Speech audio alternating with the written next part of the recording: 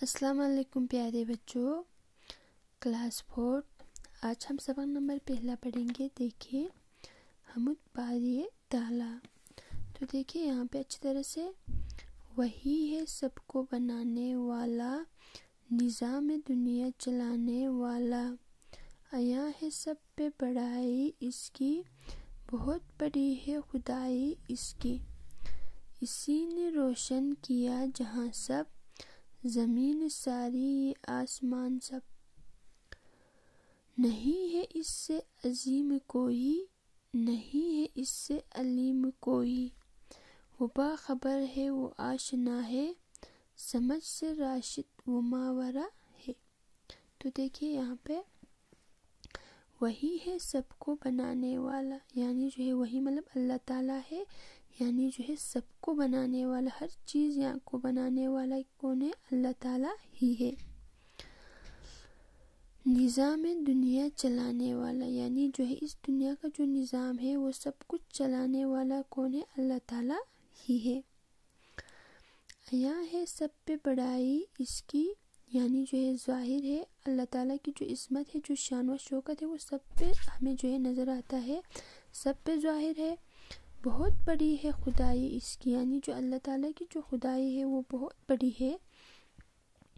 اسی نے روشن کیا جہاں سب یعنی جو اسی مطلب اللہ تعالیٰ نے اس دنیا، پورے دنیا کو روشن کیا ہے۔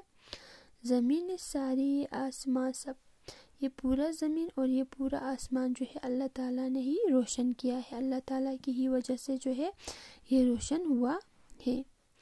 نہیں ہے اس سے عظیم کوئی۔ یعنی جو ہے کوئی بھی عظیم مطلب بڑا کوئی بھی نہیں ہے۔ اللہ تعالیٰ کے اللہ تعالیٰ سے بڑھ کر کوئی بڑا نہیں ہے، کوئی عظیم نہیں ہے۔ نہیں ہے اس سے علیم کوئی، نہ ہی اس سے کوئی اور جاننے والا ہے۔ اللہ تعالیٰ جو ہے ہر چیز سے باخبر ہے، ہر چیز جاننے والا ہے۔ اس سے اوپر جو ہے کوئی بھی نہیں ہے یعنی جو ہے جاننے والا۔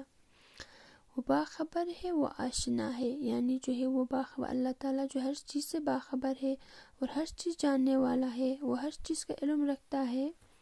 سمجھ سے راشد وہ ماورا ہے۔ یعنی جو ہے، اللہ تعالیٰ کی جو خدا ہی ہے۔ اب یہ سمجھ میں آتا ہے کہ جو اللہ تعالیٰ کی جو طاقت ہے، وہ سب سے بلاتر ہے، سب سے طاقتور ہے۔ تو یہ سبق ہم نے پورا پڑھ لیا ہے۔ آپ لوگ بھی اچھی طرح سے پڑھیے گا۔ اب الفسمانی دیکھیے۔ اب یہاں پہ الفسمانی بھی ہے۔ الفسمانی دیکھیے۔ آشنا مطلب جاننے والا ایا مطلب ظاہر، باخبر، لیم یا ہر بات کا جاننے والا۔ ماورا مطلب سب چیز سے اوپر۔ ٹھیک؟ یہ الفسمانی اب اپنی کاپی پہ اچھی طرح سے لکھنا ہے۔ اب یہاں پہ دیکھیے، صحیح تلفظ سے پڑھیے۔ تو دیکھیے، یہ سب سے پہلا ہے، یہاں ہے ماورا ہے، راشد ہے اور نظام ہے۔ ٹھیک؟ اب دوسرا دیکھیے، یہاں پہ سوچے اور بتائیے۔ تو یہ بھی کرنا ہے آپ لوگوں کو۔ آئیے دیکھیے۔ تو پہلا دیکھیے، حمد میں نظام دنیا سے کیا مراد ہے؟ تو جواب یہاں پہ دیکھیے۔ حمد میں نظام دنیا سے مراد ہے دنیا کے طور طریقے یا اصول۔ ٹھیک۔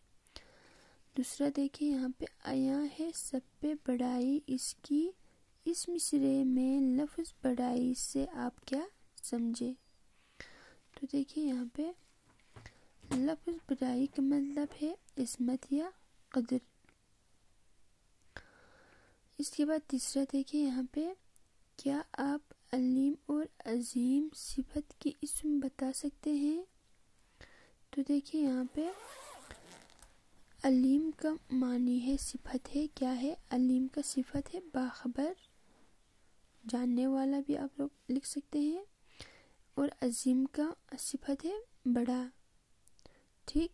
اسی طرح سے آپ لوگوں کو بھی اپنی کاپی پہ لکھنا ہے۔ جواب الفاظ معنی بھی لکھنا ہے اور سبق کو اچھی طرح سے پڑھنا ہے۔ تو آئیے پہلا سوال بھی دیکھیے۔ یہاں پہ جواب لکھنا ہے۔ دیکھیے، پہلا دنیا کا نظام چلانے میں کون کون سی چیزیں شامل ہیں؟ یعنی دنیا کا نظام چلانے میں کون کون سی چیزیں شامل ہیں؟ تو دیکھیے، جواب یہاں پہ، دنیا کا نظام چلانے میں زمین، آسمان، چاند، سورج، تارے وغیرہ ہے شامل ہے تو اس کے بعد دوسرا دیکھیں یہاں پہ، دنیا کو کن کن چیزوں سے اللہ تعالیٰ نے روشن کیا ہے۔ تو جواب دیکھیں یہاں پہ، دنیا کو سورج، چاند، تارے وغیرہ سے روشن کیا ہے۔ تو یہ آپ لوگ اپنی کاپی پہ اچھی طرح سے لکھنا ہے، یاد بھی کرنا ہے۔